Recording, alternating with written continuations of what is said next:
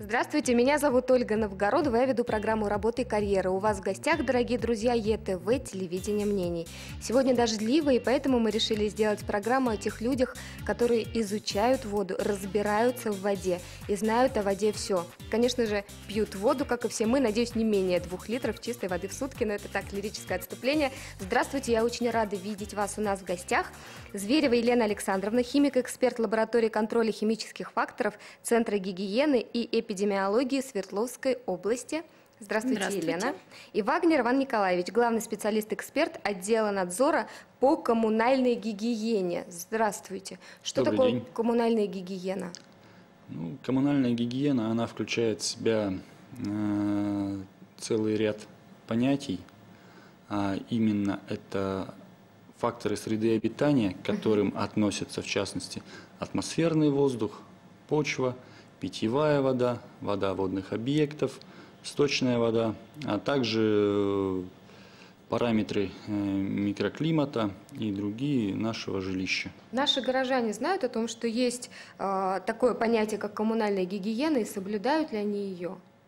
Ну, здесь я бы поставил вопрос э, несколько по-другому. Э, наши горожане знают о том, что существуют определенные требования и правила, которые предъявляются э, к перечисленным мною факторам среды обитания, в частности, к качеству питьевой воды, качеству атмосферного воздуха. И в связи с этим э, при их несоблюдении они обращаются в органы Роспотребнадзора с жалобами, с заявлениями. То есть куда жаловаться, они знают. Они знают. да, а самим совершенно верно. как э, соблюдать все эти правила и нормы? Есть же какие-то правила потребления этих ресурсов, которые должны соблюдать именно вот потребители, а не вы как надзорный орган? Естественно. Ага. Но в первую очередь, что касается ресурсов, в частности питьевой воды, во-первых, их должны соблюдать те организации, которые эксплуатируют систему водоснабжения. Ну, само собой должны.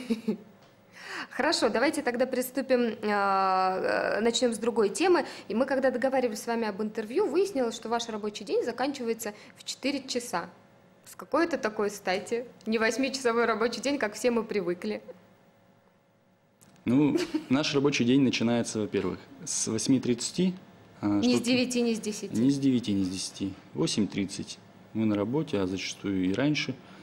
А Заканчивается, что касается управления, а, в 17 часов. В 5 часов. 5 часов, да. Но все равно И меньше, чем получасовой перерыв на 8-часовой обед. рабочий день. Почему меньше? Если начинаем с 8, а заканчиваем в 5, а, ну так и получается. 8.30, полчаса на обед, в 5 заканчиваем, 8 часов.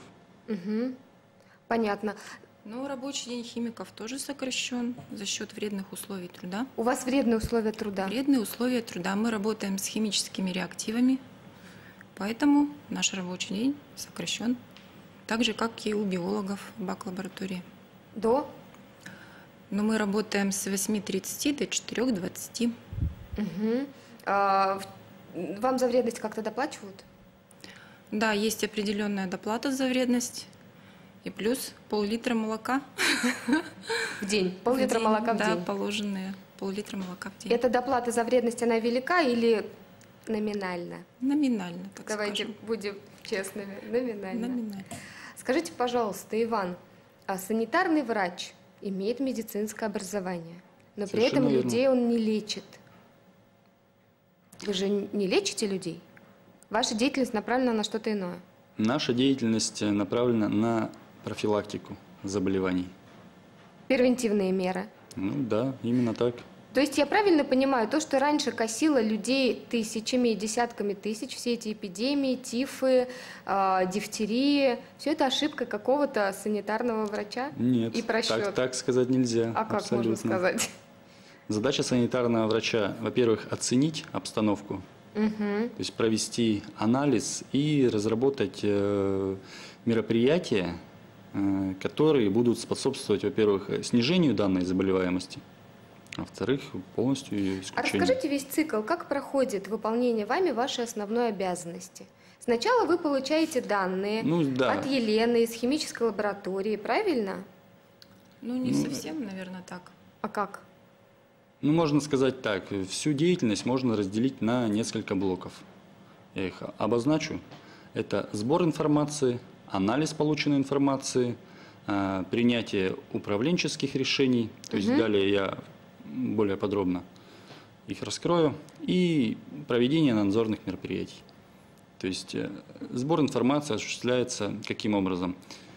Это данные, поступающие э, от субъектов права, а также э, данные лаборатории, и мы оцениваем, допустим, как у нас изменилось качество атмосферного воздуха по сравнению с предыдущим годом, ну и по другим факторам среды обитания также. Угу.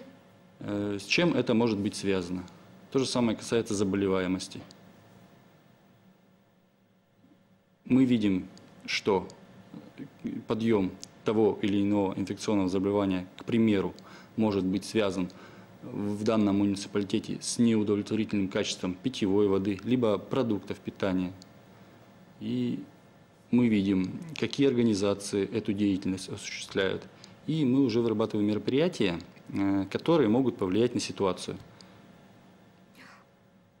Вот вы все это объяснили, мне все понятно. Другой вопрос интересен. Принципиальную, честную позицию сохранять, работая на этой должности, сложно? Нет. Абсолютно несложно. Вы можете быть э, сами, как Иван, э, сколь угодно э, честным и порядочным человеком, но с обществом спорить очень сложно. Бывает же такое, что ну вот, ну давай, ну...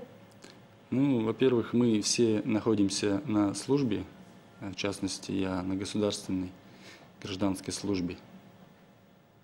Работаю в соответствии с определенными законодательством, у меня есть должностные обязанности – и вот я вас уверяю, принципиальным быть абсолютно несложно. Елена, я про вредность вашу поняла, про вредность да. вашей работы. А есть в вашей работе какой-то уровень секретности? Ну вот э, проба в лабораторию приходит зашифрованной по системе менеджмента качества. Зачем? есть изначально химик не знает, откуда эта проба, кто заказчик. Угу ну, чтобы Во исключить предвзятость, да, какое-то предвзятое отношение. У вас в лаборатории сколько людей работает? Ну, весь коллектив у нас 40 человек. Все женщины? Три человека мужчины. Почему так мало мужчин? Почему так мало мужчин? Ну, наверное, профессия химика. Много качеств тут надо перечислить, чем должен обладать химик, в том числе и какой-то терпимостью, да, пытливым таким умом, организованностью, внимательностью, Что аккуратностью, вместе усидчивостью. Редко. Да, у мужчин, наверное, они более мобильные, подвижные, как бы. Усадить человека за стол химика сложно, наверное. С какими материалами вам чаще всего приходится сталкиваться? Э, в смысле с объектами контроля. Объекты контроля. Да. Но мы работаем с воздухом. А как поступают пробы Тем, воздуха? которым мы дышим, да, на улице, Как выглядит проба воздуха? Проба воздуха отбирается. Есть различные пробоотборники, да, это и сорбционные трубки, и различные поглотительные устройства.